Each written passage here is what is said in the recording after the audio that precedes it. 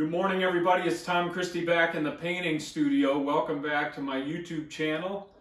I appreciate uh, the visit, and if it's the first time here, I hope you'll find resources on this YouTube channel, free resources that will help you get started or improve uh, your wildfowl carving or decoy carving. Uh, it, I'm showing one way to do things. There are many, many approaches that are good approaches, but I thought by sharing what I do, uh, others may benefit from that and uh, share in the joy of creating wildfowl carvings and decoy carvings. Uh, something that to show for your efforts. It's a great hobby in retirement for me. Uh, keeps me active. I love waterfowl. Um, since I was a little kid, and I still love waterfowl like I'm a little kid. 67 years old and still enjoying it. So I'm hoping to share that with others. Uh, free resources. If you haven't subscribed to my channel, maybe this is the first time you're visiting, check out the videos. And if you're getting value out of those, please hit the subscribe button. It doesn't cost anything. And uh, it does help me out as I continue to build this channel for decoy and wildfowl carvers. Okay, on to the video. Today's video is going to be the way that I paint a Drake pintail's head.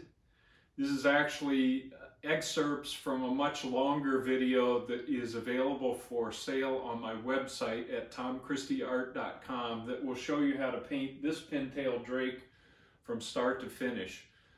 But in this video, which I'm providing free on my YouTube channel, it'll give you a start on how to do the head of a pintail drake, at least one approach, and uh, hopefully that will be helpful to you.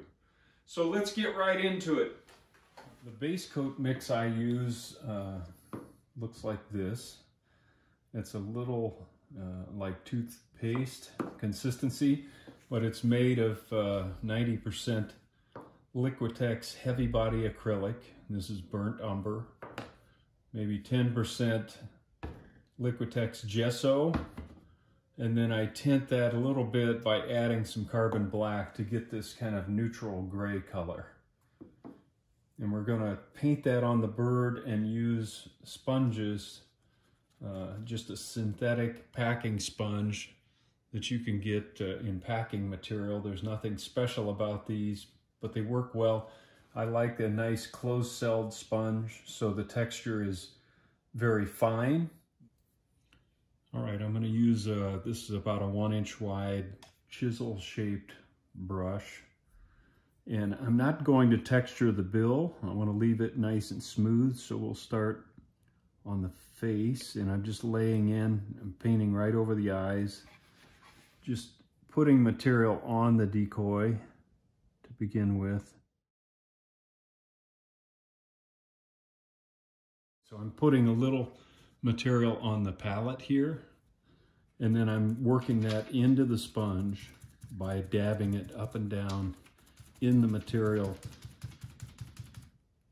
until it's pretty consistently throughout the sponge. And then I'm gonna go to the decoy and go over the entire decoy like this just working this fine texture into the surface. I'm gonna paint the head Jo Sonja Burnt Umber base coat. Now I'm gonna use some carbon black on a little filbert shaped scrubber and just use that right behind the white marking here and then I'm using a scrubber so that I can kind of blend into the gray below and the brown head above. I'm just lightening the pressure as I get close to the gray so that the texture is just picking up a little bit of the black. Now I'm using that little filbert to just go ahead and block in the white up front, including these markings on the side. All right, I want to create this highlight on the face, on the side of the crown, and on the cheeks. And I'm, I've got a little filbert that's kind of worn and seen some service and I'm mixing that with burnt umber, smoked pearl, and a touch of raw sienna to give us this lighter value. And then I'm scrubbing that on the cheek, pretty wet to begin with, and up the side of the head. And I've put this guideline in place where we're gonna have this kind of raw sienna markings up there. This takes some time to get a nice soft blend, so I'm just speeding up the video so you can kind of watch the sequence, uh, but will take less time this way. I'm blending down, I'm leaving the uh, underside of the neck dark, so blending into that with a nice soft transition into the dark below. You could also do these blends with your airbrush. I'm just choosing to use a brush.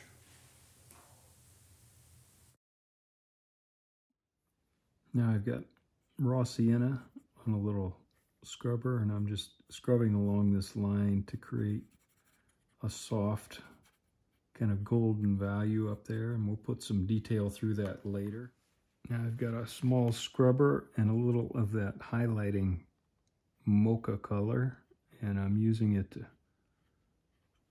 just uh, put some little feather markings on the top of the head. So little arcs. I'll continue that and kind of fade those out as I go to the back of the head here. Now I'm using little carbon black with burnt umber and just pulling some splits through those feathers just to break them up a little bit. All right, I used a little chroma violet interference to put that purple iridescence right by the stripe and now I'm using the same brush washed out with a little bit of the yellow green and green mixed interference chroma and just lightly scrubbing that on so we have a nice transition between the two colors. This needs to be pretty subtle but just a little bit back there behind the eye. Okay, I'm using a detail brush and a slightly darker value than the highlight on the cheek. So that's burnt umber with a touch of smoked pearl. Less smoke pearl on these. And I'm going in and putting some ticks to put some feather structure in the head here.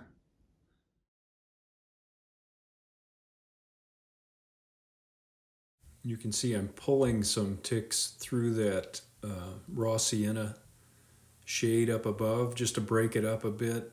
We don't want a hard line there. It needs to be nice and soft.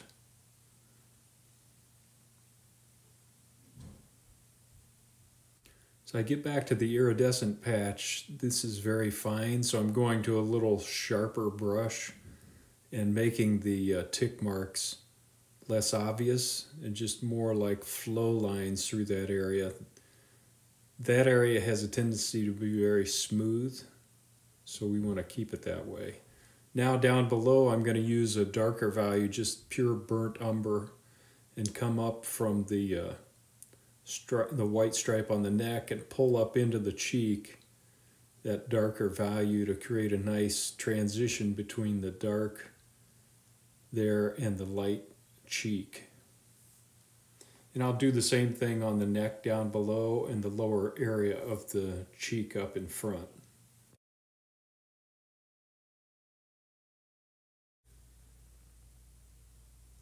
I'll continue to work on this to clean things up and just make sure it looks nice and soft. Now I'm going to use the detail brush and a little of the off-white and go in uh, begin to create some feather markings on the white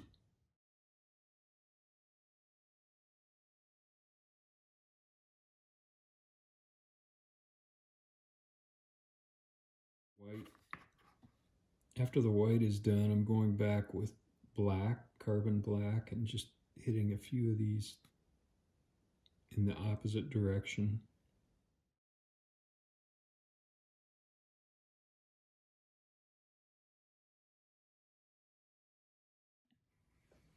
Now I'm just taking some white gesso, so a brighter white, and uh, pulling it through the off-white here to create a little depth.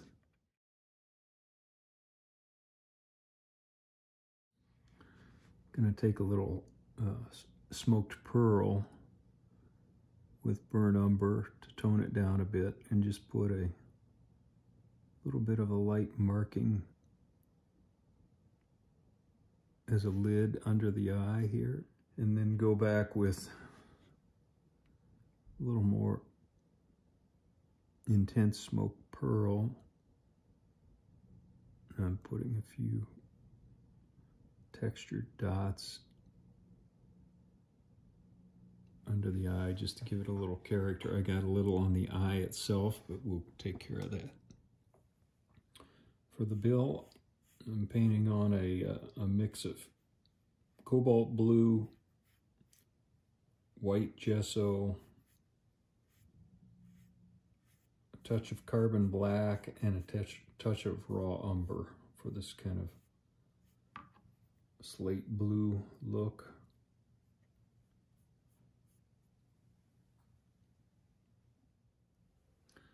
Now I'm going to take carbon black and uh, just paint in the black markings. This starts up high, dips down to the nostril, and then continues on out to the nail.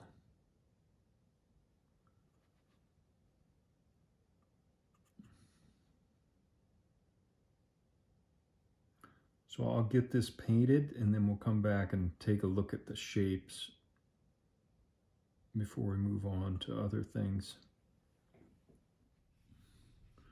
Then I'm going to use a little scrubber oh, the, just to cover the areas. The saddle up here goes right to the head, kind of touches the nail. These return on the sides, and then there's a black marking that kind of drops straight down and doesn't curl back much to form this little blue hook up here. And now I'm going to uh, take my scrubber like we did in other areas and very gently scrub across this line and uh, Got to take some water out of the scrubber. If it's too wet, it's not going to blend nicely. But I want to soften this line between the blue and the black by just scrubbing along here back and forth. And then I'm going to hit all of those areas between the black and blue to just kind of soften the line between the two. I'll hit this area close to the cheek and also the one the markings out on the nail. One last little detail I mixed up with gold oxide, white, and a little raw umber to darken it. A little flesh color in the corner there between the upper and lower mandibles on both sides. It just adds a little bit of life. All right, there you have it. Easy peasy, right? It uh, The video editing makes it look a lot easier than it is. It takes a lot more time than this uh, 15 minute video to paint the head of a pintail drake, but I tried to put in there things uh, that would help you step by step through the process. It's not easy, but repetition makes it easier and you get faster the more you do. So uh, just a reminder, I do have uh, that full video for sale on my website and I sell those, that's at tomchristieart.com. I sell those because they take a lot of time and effort to put together, to edit, and get it in a 50 minute, 50 minute format that will take you from beginning to end on how to paint a decoy. And I have, I think, 16 different uh, birds over there now available. So check those out if you're interested in uh, investing in a video to show you beginning to end. But hopefully this video has been helpful, shows you one way to get a pintail started. And until next time, this is Tom Christie signing out. Good carving to you, good painting to you, and thanks for checking out my channel again.